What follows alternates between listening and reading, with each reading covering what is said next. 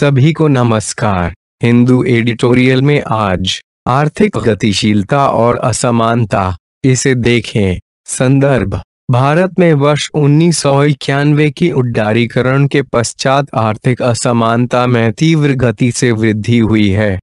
बढ़ती आर्थिक असमानता आर्थिक गतिशीलता के गैर समावेशी स्वरूप पर प्रश्न चिन्ह लगाती है। ऑक्सफेम की संपत्ति पर वार्षिक रिपोर्ट 2019 के अनुसार भारत के टॉप एक प्रतिशत लोग उनतालीस प्रतिशत अधिक अमीर हुए हैं, जबकि इसी अवधि में देश के बॉटम पर स्थित आधी आबादी की संपत्ति में मात्र तीन प्रतिशत की वृद्धि हुई है। Global wealth report G W दो हज़ार अठारह के अनुसार भारत के टॉप दस प्रतिशत अमीर लोग देश की सतहत्तर दशमलव चार प्रतिशत संपत्ति को धारण करते हैं।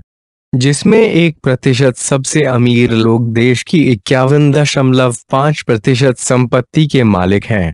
वहीं देश के बॉटम पर स्थित 60 प्रतिशत लोग सिर्फ़ चार दशमलव सात प्रतिशत संपत्ति के धारक हैं। जी डब्ल्यू रिपोर्ट 2017 के अनुसार वर्ष 2002 से 2012 के बीच देश के बॉटम पर स्थित 50 प्रतिशत लोगों की संपत्ति 8.1 प्रतिशत से घटकर मात्र 4.2 प्रतिशत हो गई। जबकि इसी अवधि में देश के एक प्रतिशत सबसे अमीर लोगों की संपत्ति बढ़कर पंद्रह दशमलव सात प्रतिशत से पच्चीस दशमलव सात प्रतिशत हो गई। जी डब्ल्यू के आंकड़ों के अनुसार सिर्फ़ इंडोनेशिया एवं अमेरिका के टॉप एक प्रतिशत लोगों की संपत्ति भारत के अनुपात से अधिक है। क्या होती है आर्थिक गतिशीलता? आर्थिक गतिशीलता एक निश्चित अवधि में लोगों की आर्थिक स्थिति में आने वाले बदलाव को प्रदर्शित करती है।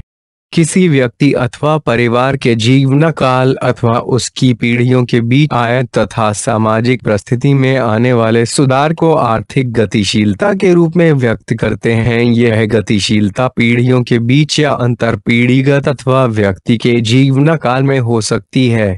गतिशीलता निरपेक्ष अथवा सापेक्ष भी हो सकती है। विश्व बैंक डार्टमॉथ विश्वविद्यालय तथा मेड संस्थान के अर्थशास्त्रियों के द्वारा किए गए एक अध्ययन से यह बात सामने आई है कि भारत के लोगों की अंतरपीढ़ीगत गतिशीलता उन्नीस सौ इक्यानवे में हुए उड्डारीकरण के पश्चात स्थिर ही रही है। असमानता पर आर्थिक गतिशीलता का प्रभाव आर्थिक असमानता के कारण उत्पन्न आर्थिक असमानता दीर्घकाल में लोगों के कल्याण को नकारात्मक रूप से प्रभावित करती है। आर्थिक गतिशीलता असमानता के नकारात्मक प्रभावों को कम करने की क्षमता रखती है। यदि अन्य कारकों को अगर तटस्थ मान लिया जाए तो ऐसी अर्थव्यवस्था जहाँ अधिक आर्थिक गतिशीलता है। कम गतिशीलता वाली अर्थव्यवस्था के सापेक्ष में अधिक आय एवं उपभोग की समानता के परिणाम उत्पन्न करती है। भारत में आर्थिक गतिशीलता में बाधक, गरीबी, अध्ययनों में यह तथ्य सामने आया है कि भारत में गतिशीलता की दर कम होने का एक प्रमुख कारण भारत में बड़ी संख्या में गरीब आबादी का होना है, संपत्ति एवं आय में असमानता। विभिन्न आय स्तरों के मध्य बढ़ती असमानता ने भारत में आर्थिक गतिशीलता की गति को धीमा किया है ग्रामीण आबादी। भारत की लगभग 70 प्रतिशत आबादी आर्थिक क्षेत्र के बेहद सीमित अवसरों के साथ ग्रामीण क्षेत्र में निवास करती है। यह स्थिति बड़ी जनसंख्या के लिए आर्थिक गतिशीलता के अवसर को कम करती है। शिक्षा का न्यून स्तर किसी समुदाय अथवा व्यक्ति के लिए ऊर्ध्वगामी गतिशीलता का सबसे अच्छा माध्यम शिक्षा को माना जाता है। अशिक्षा का उच्च स्तर तथा गुणवत्ता प्रशिक्षा का न्यून स्तर भारत में ऊर्ध्वगामी गतिशीलता के लिए सबसे बड़ी रुकावट है सामाजिक करक जाति एवं धर्म।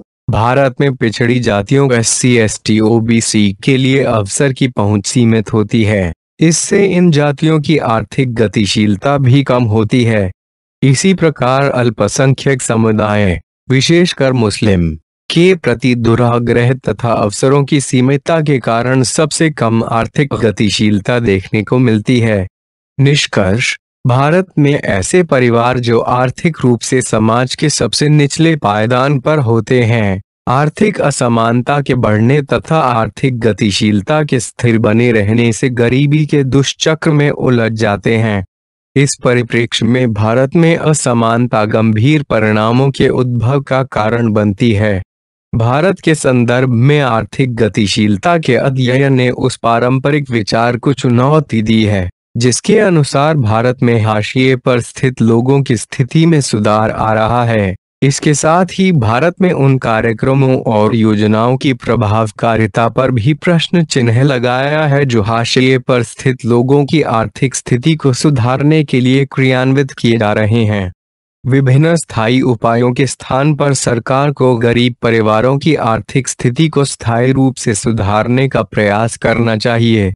इसके लिए सरकार क्षमता निर्माण और संपत्ति के पुनर्वितरण जैसे उपायों को अपना सकती है।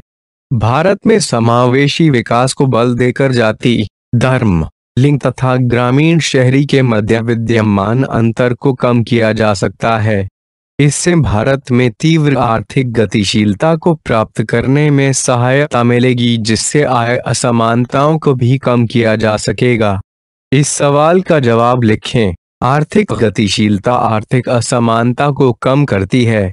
विवेचना दे। इस वीडियो की टिप्पणी के क्षेत्र में अपने उत्तर पोस्ट करें। इस वीडियो को लाइक शेयर और शेयर करें और हमारे टेलीग्राम चैनल को भी देखें। इस वीडियो के विवरण में लिंक है। आपका दिन शुभ हो।